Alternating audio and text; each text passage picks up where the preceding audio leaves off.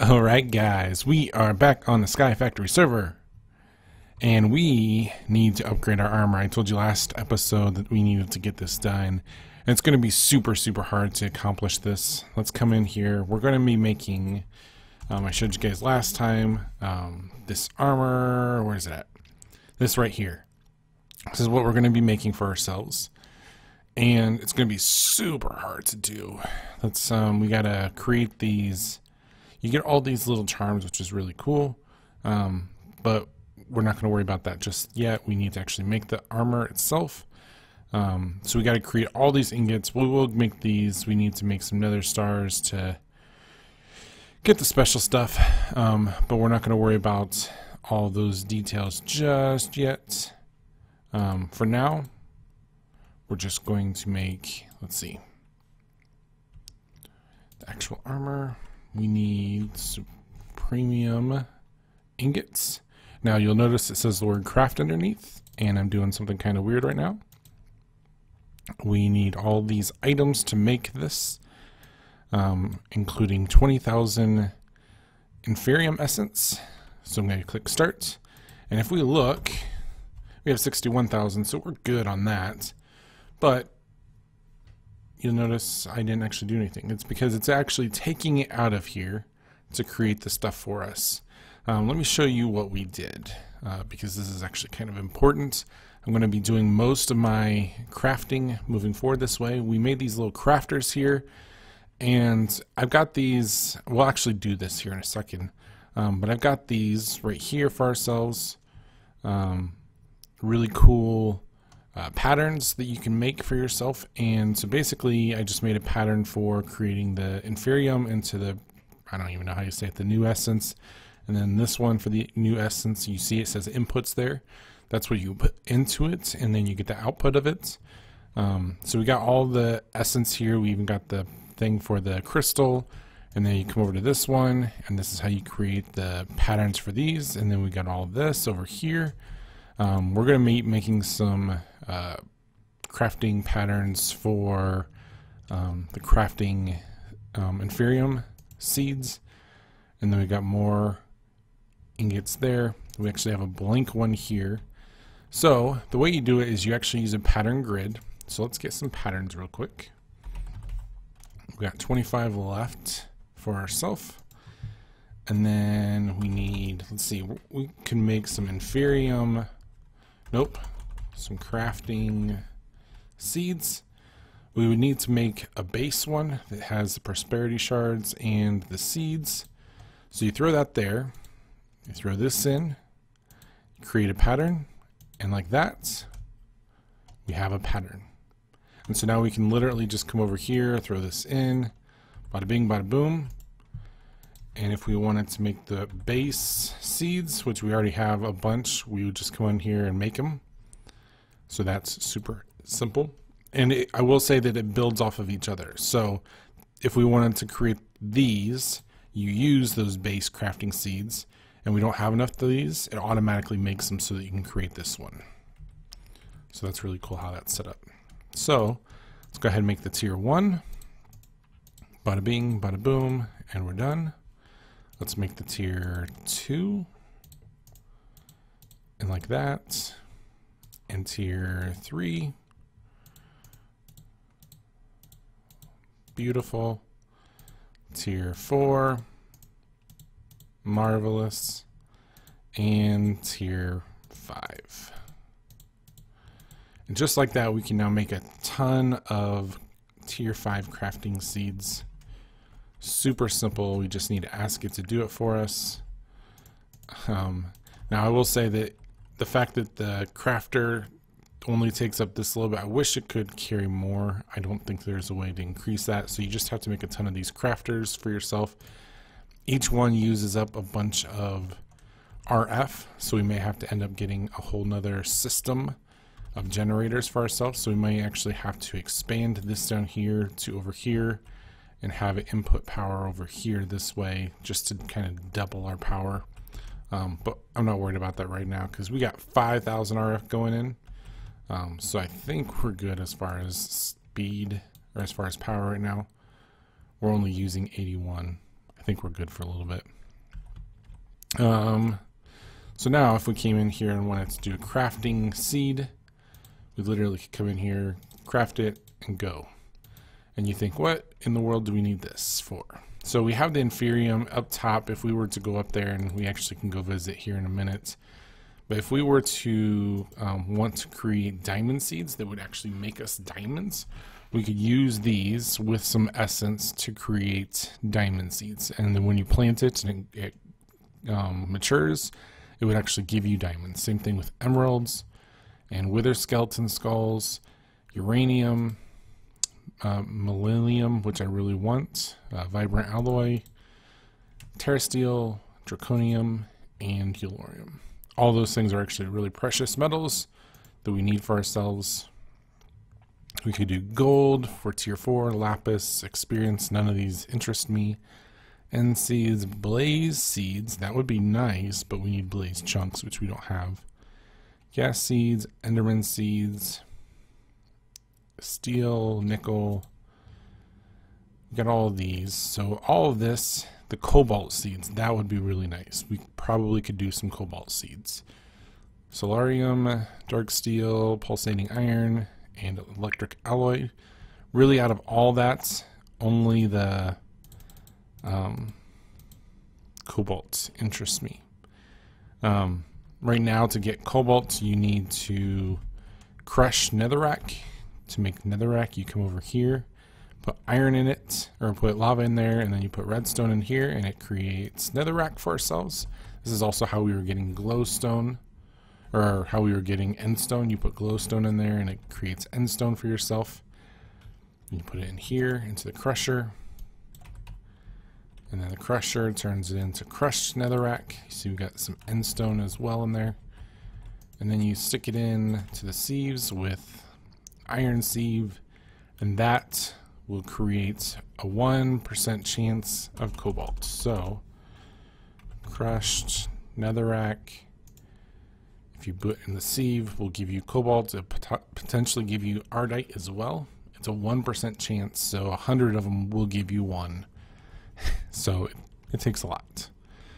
Um, right now, I've already made three ingots. You'll see I have this here. I'll talk about this in a second. Um, and we've got 12 plus 5 more ingots. So this thing is a crossbow. As you can tell, I've made this kind of bolt. Um, has really excellent attack and accuracy. Has the ability to modify, which I haven't done yet. Um, this thing here um, has slow draw speed. It's not like the fastest ever, but has a good range, attack, and some modifiers for ourselves. Um, I haven't worked well with it yet. I still need to upgrade um, via experience. If you kill monsters with this, it actually will give you experience working with the device. So I can literally just sit here. I made this platform down here for myself, literally to shoot now the downside is to you slowly use up this. So I only have 55 arrows left. You see the ammo right there. Um, so that is a downgrade. But the more and more you use this, the better you get um, experience and it actually upgrades the items that you're using. And so one of the upgrades you can get is that it auto heals. And so you automatically fill this back up if you are able to get a better um, update. So you see where the XP is, and then below it, it talks about insatiable. There's other upgrades it'll give you as you gain more experience with the thing. Down in the left, right, left hand corner at the bottom, it's going to, once we get enough experience, tell us that it's improved a little bit. Oops. The good news is if you accidentally waste an arrow, it does stick down there for us so we can go back and later and pick it up. Where are we at? Oh, one more shot. All right, look down at the bottom left-hand corner. You are now accustomed to the bolt, to the weights of the bolts. Beautiful. So we got Insatiable. Oh, it did not give us a specific upgrade. There's a little bit of a bonus ammo. The attack has improved. Um, I could have used a different fletching if I wanted to. I chose not to. Um, I think this is one of the better crossbows and bolts I could make for myself. I wanted to make a really, really good one. I don't know if it's necessarily the best. Um, and unlike Pokemon, I don't want to necessarily be the very best, but I need to have better than I had, which was nothing. So let's go ahead and get rid of all these guys down here. Come on. How dare you shoot at me?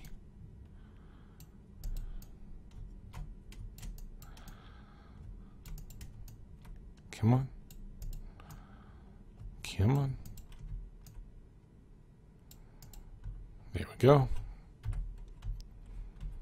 Alright, so pick up all this stuff. Ooh, we even got a creeper head. Nice. That is one of the little additions I didn't know about this is um, it has a, I don't know what it's called, but a specific sharpness on it that allows us to um, get heads. So We've gotten a head for skulls and for creepers. So it's got a lot of fun stuff with that. Throw this in here. Now if I was wanting to um, fix this, which I don't right now, I'll show you how to do that. Um, I need to improve my um, malarium. I don't know how to say it. Right now I only have three, so I don't want to keep using them. But what you would do is you go over here, Throw this in there, throw this in there. Oh, I can't upgrade anymore? I can't repair it anymore? Or is it this? Oh, I'm sorry. It's this. And so that would fix it. But I don't want to do that right now. I want to get a better supply of this. What's really the only way you can get that right this second is... Ooh, I did not mean to do that. I'm going to keep this on me just to have, but I don't plan on using it. Um, the best way to do that is from loot bags. And then you create a seed out of it for the essence. And that helps. Ooh, we're missing a lot of bags. So let's create two. I can't even create two. I can't even create one? Well, that's silly. Watch this. This is how I create my loot bags. You take a whole bunch of gunpowder. You grab it all. Come over to the recycler, throw it in there, all of it, and it's creating loot bags. That loot bag is going into this compressor, and boom, I got some loot bags. You do it again, and when you run out of this, then you go to arrows, which, ooh, we do not have a ton of arrows. And you just keep going and going and going, and then eventually you'll get a loot bag um, you'll be able to make enough to make one legendary loot bag for yourself. Simple enough. Now it is also pulling from our new mob farm that we have over here. Come over here, grab some experience for ourselves if we need to. So yeah, let's see where we are at with our um, ingots. We've got 13 of them going. I believe if we wanted to. Oh, we cannot make it without that. Oh, we're not going to be able to make our armor today, are we? because we need to make armor core. Well, that stinks because we need nether stars to do that. Oh, man. So, we need to kill a wither to create our, our uh, yeah, wither. Hmm. So, give me a sec. I'm going to go create a little chamber for killing withers. Um, and I'm going to jump back because I want this armor this episode. So give me one second. Alright guys, so I've got the setup over here. It's been a couple of days. If you notice my voice, it's um, a little bit raspy because I'm sick. Um, in the three or four days in between the last bit and now I ended up getting sick. Down for several days, almost two and a half days. So here I am. Um, I've been I had to create this uh, reinforced class with wither skulls because this is the only thing that will stand um, a wither. And because I don't want my entire place to be utterly destroyed, I had to do this. Um, to get this done, I had to, I created this obviously out of obsidian, um, but to create that, or the wither skulls, I need to create wither seeds, so I had to get wither skulls to make wither seeds. It's been a whole thing. I did create um, this supremium sword because otherwise I'd be sitting here showing you how to kill this wither for like three minutes, stabbing him. That's how long it took to kill the first one. Um, this crossbow is amazing on this thing. Look how it takes like 30 health every single time, and for an armor 4, that's really, really good. Alright, so we get him down, and then we just whack him with the sword. I could go in there, but what's the point in taking the damage? You can actually automate this whole process, so I don't have to sit here and do this manually. Um, but for the foreseeable future, I will. Alright. Beautiful. That was another star we got. Um, I believe you can eat these. You can. Holy smokes. That helps my health. Alright, so, um, that was not my first nether star. I have eight of them now.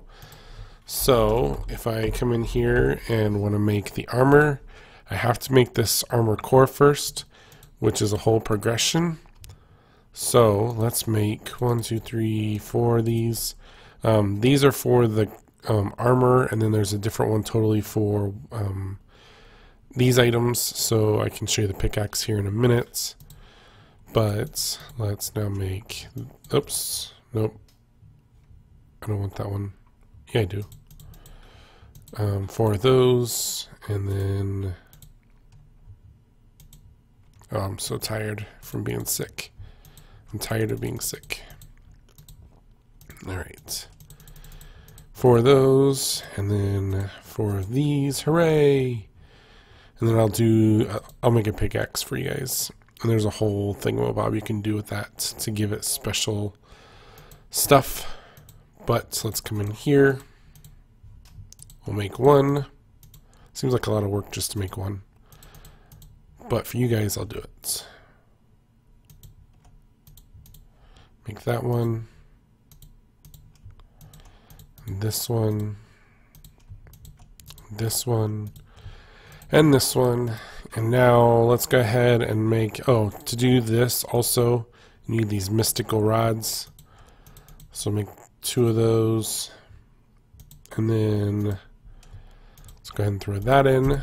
Boom. So if we come, if we pull up a normal pickaxe, um, it's 5 damage, 2.5 speed, durability 1500. This one is um, undamageable and 19 attack at 1.2 speed. So 19 to 5, same speed, but you do break them. So that's pretty amazing. Alright, now for armor, let's do this, and then this. We'll enchant all this stuff next time. We're not going to do that today. And then that, and then the trousers. Oops. Beautiful. So we'll put the charms in later. But if we throw all this on and we look ourselves, yes, we look red. That's okay. But we can fly now. And I in fact, I think, do we still get fall damage? We do not. So now we do not get fall damage when we drop. It's a beautiful thing. Guys, we are rocking it. Now I don't have to worry about power in this jetpack anymore. Um, if I were to want to go fast. I can actually get an upgrade to this, but this is so much faster than my um, uh, jetpack that I had. It was super slow to move around. So if I go into the nether, I'll be able to get to the nether fortress fast. I can come up here fast. It's beautiful. I actually expanded this. Got some more crops going. Got almost all of that done. We are doing well. We got so many more chickens. I think the next live stream I'm doing, I'm going to build out the chicken area. Um, I can't cover the um, solar array there. So I'm going to probably go this way and make a chicken hut and then go one more this way and that'll be right over this and make it for like either the trees or the cows. And then right here is where I'm going to build the house. I'm going to build myself a Minecraft house. Um, and so I'm going to do a lot of those buildy type things that really aren't going to affect significant amounts of gameplay. Um, on the on the, live stream. So if you want to go watch that, you can. If you miss live streams, you can always check out the Patreon channel to catch all of that. Anyways, guys, it's been fun. I got ooh, maybe we'll do that. I got my stuff. It looks good. I'm so happy. Thanks so much for watching, guys, and I'll catch you guys next time. See ya. Bye.